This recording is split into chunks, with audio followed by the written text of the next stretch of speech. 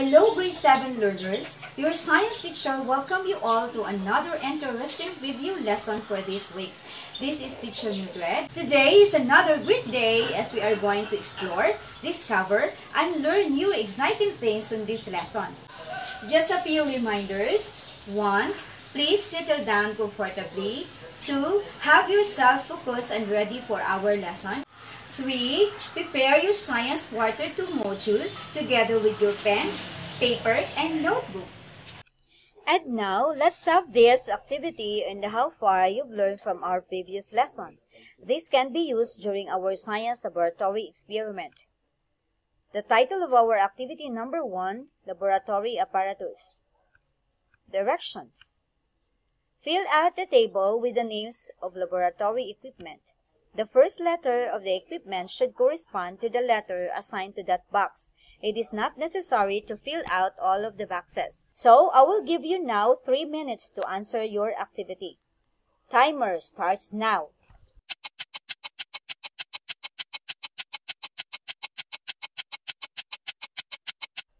Alright, let's have your answers. Letter A, alcohol lamp.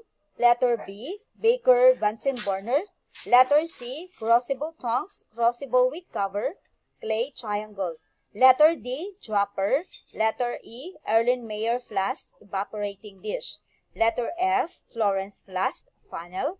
Letter G, graduated cylinder. Letter H, no instrument assigned to this letter. Letter I, iron ring, iron plumb, iron stand. Letter J, K, L, no instrument assigned to these letters.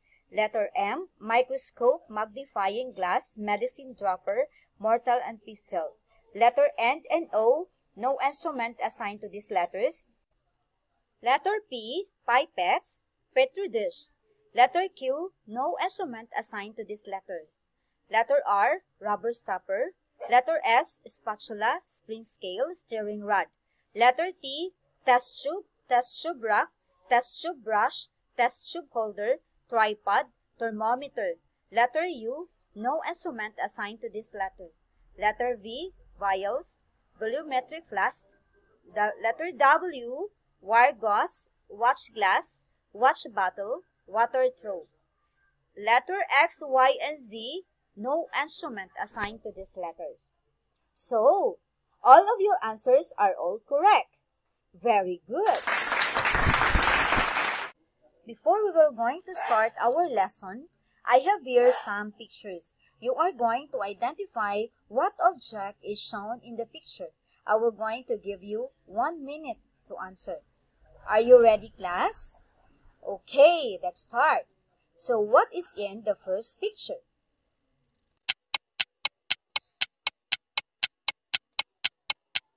Correct. That is an elephant. How about the second picture?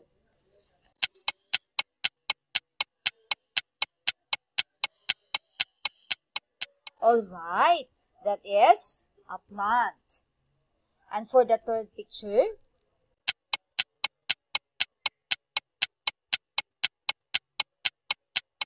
you are correct. That is an onion skin. And for the fourth picture, Correct. That is an ant colony. And for the last picture, Alright, that is a red blood cell. Some of the pictures can be identified easily because they are big enough to see with our naked eye. But some are too small that we cannot able to see them with our both eyes. So scientists have developed an instrument that can be used to see a tiny objects. So for now, try to guess out of what kind of instruments is shown for our four picks one word. Timer starts now.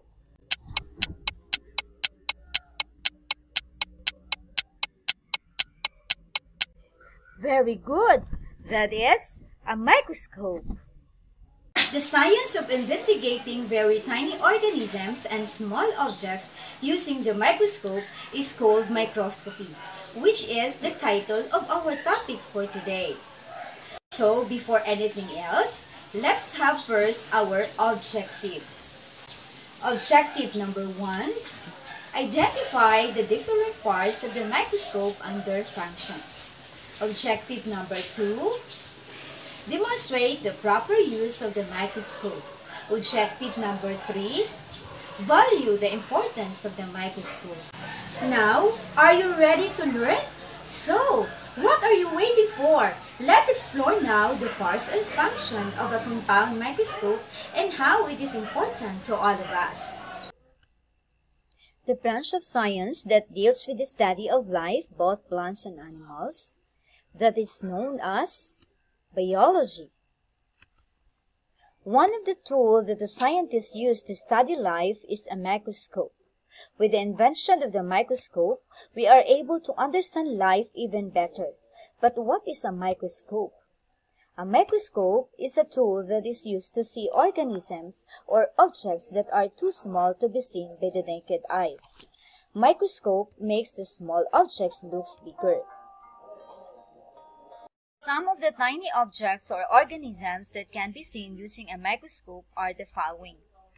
Plant cell, animal cell, and microorganisms like bacteria. To understand how the microscope works, we need to be familiar with these two terms. 1. Magnification. 2. Resolution. When we say magnification or magnifying power, it describes how much larger an object appears when viewed. Example, an onion cell. Observe the structure of an onion cell, pointed arrow as you can see, it is very small. If you want to see it better, you can increase its magnification to see the structure better. Next is the resolution or resolving power. It is the capacity of the microscope to distinguish small gaps between two separate points which human cannot distinguish. It is used to see finer details of an object. Example, the sample shows a comparison between a low resolution and a high resolution. A high-resolution image shows a finer details of a plant cell. So there are different types of a microscope, but for this lesson, we are going to focus on the compound microscope. Compound microscope. It is an optical microscope that uses visible light to form an image. It uses glass lenses to magnify and resolve images. But why is it called a compound microscope? This kind of microscope is called compound microscope because it uses two or more double convex lenses to magnify the objects. These lenses can be found on the eyepiece and objectives of a compound microscope. A compound microscope comprises the three major parts based on their functions. 1. Magnifying parts. 2. Illuminating parts. 3 mechanical parts. Let's first talk about the magnifying parts of the compound microscope. The magnifying parts of a compound microscope makes the specimen looks bigger. A specimen is a part or a sample of any material for study or examination under the microscope. The specimens should be small and thin for the light to pass through them. First magnifying parts is the eyepiece or the ocular lens. This is the lens located at the top of the microscope. This is where the viewer looks and see the magnified image of the specimen. The eyepiece or ocular lens also magnifies the image of the specimen. Its standard magnification is 10 times. The image seen on the ocular lens is inverted. The image is inverted because it goes through two lens systems and because of the reflection of light rays. Next is the objective lenses. Just like the eyepiece, its job is to magnify specimen under observation. These are the major lenses used for specimen visualization and magnification. Most compound microscope has three objectives. Some have four. The typical objective lenses are the following. First, low power objectives. It has a magnification power of 10 times. It is used to see the general outline of the specimen. Second, high power objective. It has a magnification power of 40 times. It's used to view structures from a larger perspective.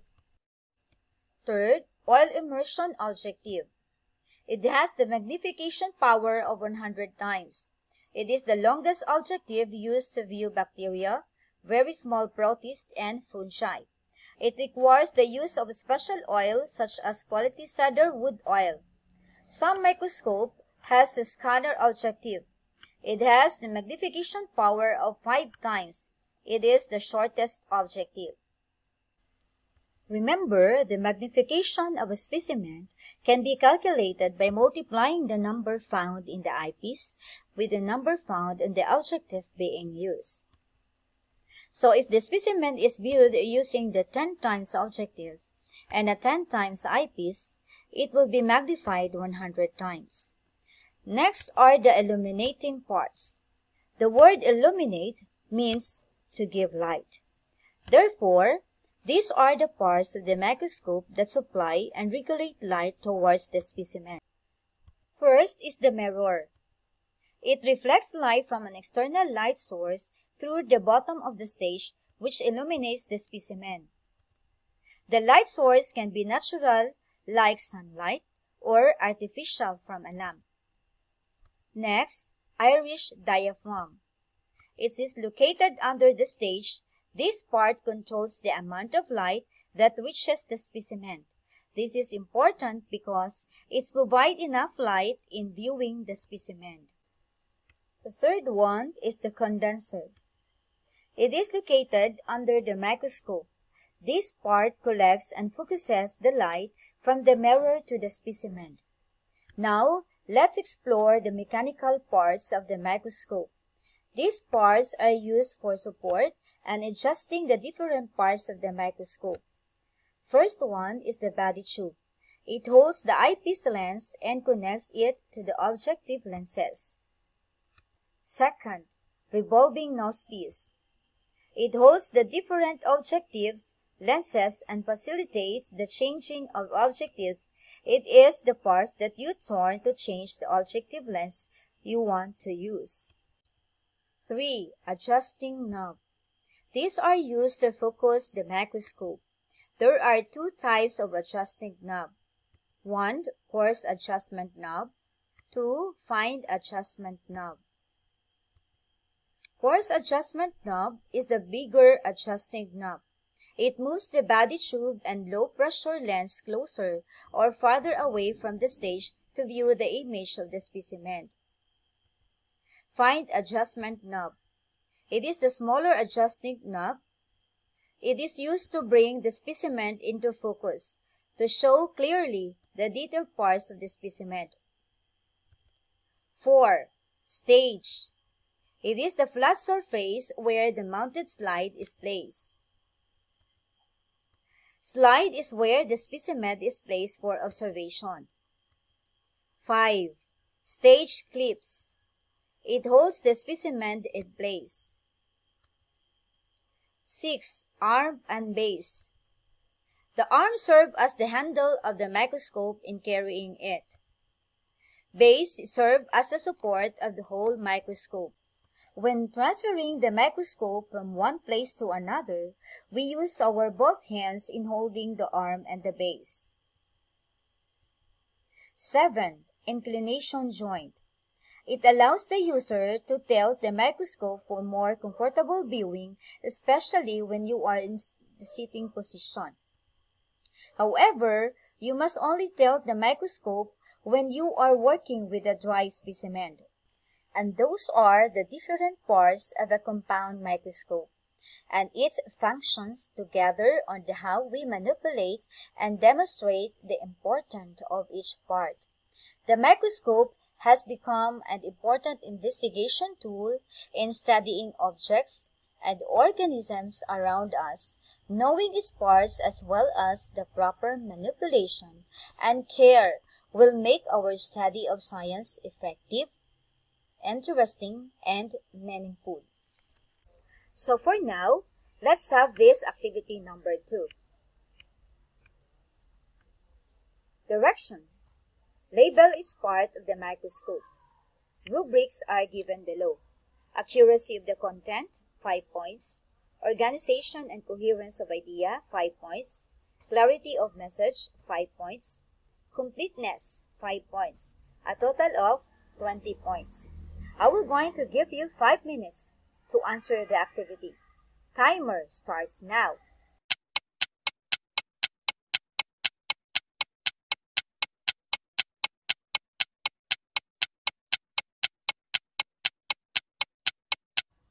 Alright, now let's have your answers. Did you get the correct answers? Very good. All of your answers are correct. So, for our practical application, together with the subject integration, coronavirus is responsible for the pandemic we are facing.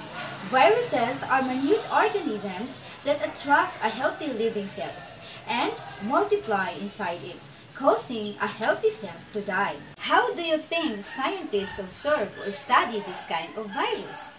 So, the next video clips presentation will going to support and prove on how microscope plays an important tool in identifying and discovering how microorganism works. You might recognize it by now. This is SARS-CoV-2, the virus that causes the novel coronavirus COVID-19. A single cell is just 120 nanometers in diameter. Here it is at 12 million times magnification, a microscopic virus that's turned the world upside down. Each cell of the virus is made up of several parts. On the outside, it's covered in nodules topped with distinctive protein spikes. It's these spikes that give the coronavirus family its name. In Latin, corona means crown. See? And the name COVID 19 simply means coronavirus disease of 2019.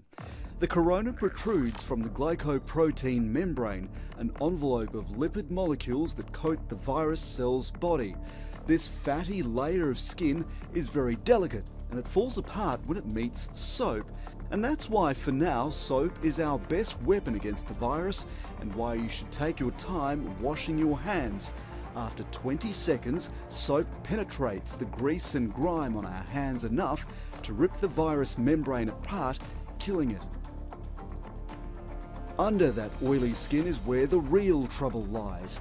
Inside each cell is a small sample of RNA, ribonucleic acid. It carries the virus's genetic code and allows it to multiply, leading to infection. But how does the viral RNA get into our bodies? It comes back to those protein spikes. After the virus has entered the human body, it uses those spikes to attach itself to a healthy cell in the respiratory system. Once that's done, the viral RNA is released and the takeover begins. The cell reads the viral RNA and makes proteins that keep our body's immune systems suppressed. That allows the virus to reproduce and multiply, killing healthy cells and potentially causing lifelong damage or death. So, how do we beat this disease? Again, it's all to do with those protein spikes. They might be its strength, but scientists think they might also be its weakness. They now know its genetic code and can recreate it. A trial that began in Seattle is injecting people with that protein. Because it doesn't contain the viral RNA, they believe it's harmless, but it can teach the body how to make antibodies against the protein spikes. Those antibodies would cover the spikes, incapacitating the virus and prevent it from piercing healthy cells. That's the hope. It's just one of about 30 trials underway around the world right now. But most researchers agree a vaccine is still 12 to 18 months away. For now, the best way to avoid becoming infected is to wash your hands, avoid touching your face, and keep practicing physical distancing. To evaluate your learning and how well you understand the lesson, you are going to answer the activity number 3. This is entitled Matching Parts and Functions. You are going to match the parts of the microscope in the column A to its functions found in the column B. I will going to give you Five minutes to answer the activity. Timer starts now.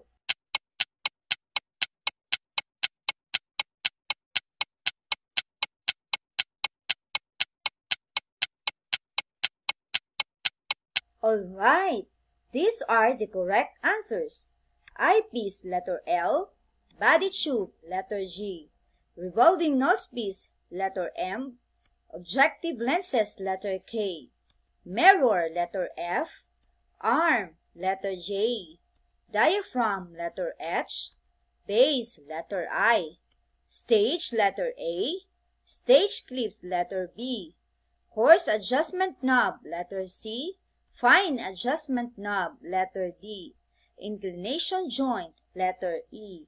Are your answers are all correct? Good job!